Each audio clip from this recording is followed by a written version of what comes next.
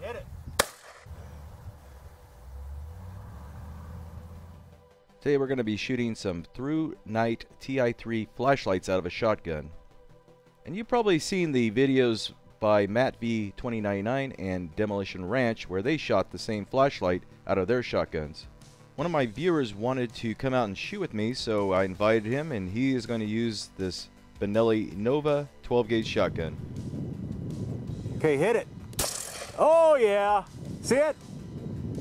Lost it. It's still going. It's on.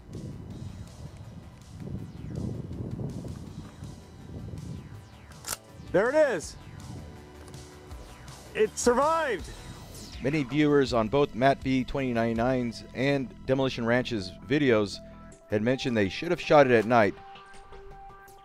It's very difficult to film something like this in the pitch dark, so we tried to find a, a happy medium, shooting with heavy overcast near dusk, and it seemed to work out just right. We were even able to film high speed using an, you know the backlighting of the clouds.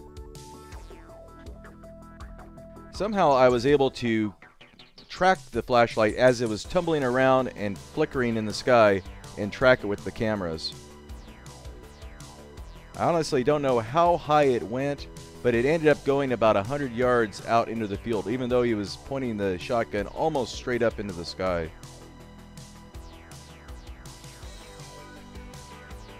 It's really remarkable that a flashlight could survive the sudden G forces and the shock from a shotgun and actually survive something like that. It just blew me away. The one we found out in the field, and it's still muddy. Let's see if it still works. It still works. Out of a shotgun, like a half a mile in the sky. Hey, quarter mile. Oh, like Long, long ways up there and a long fall. Impressive.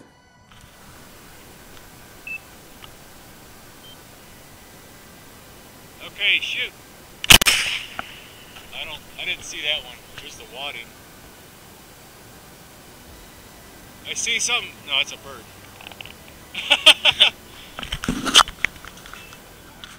Now we shot a total of four of these flashlights. One of them stayed lit, the other three did not, and I think the only thing that happened was the G forces pushed the battery back and basically turned the flashlight off on three of the shots as we fired them. We recovered one flashlight, so out there in that field there's about $60 worth of flashlights. If you can find them, you can have them. Anyway, I hope you enjoyed this. We had a lot of fun making this.